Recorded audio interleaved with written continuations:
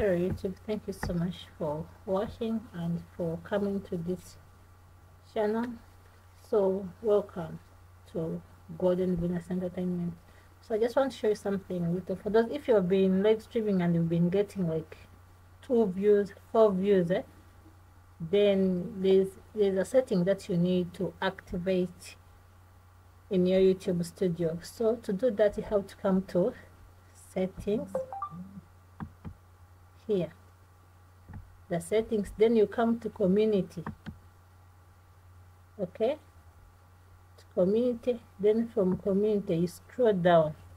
You have to enable this one.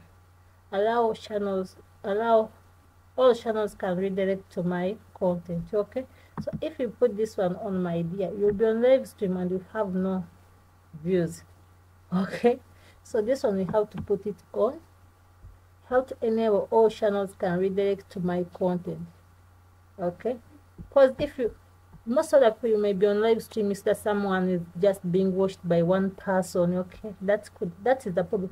If you you have more than 1000 subscribers and once you go live you get two viewers that's the problem.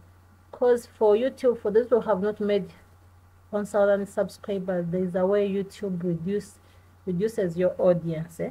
so it's not a problem but still you, you have to enable this okay?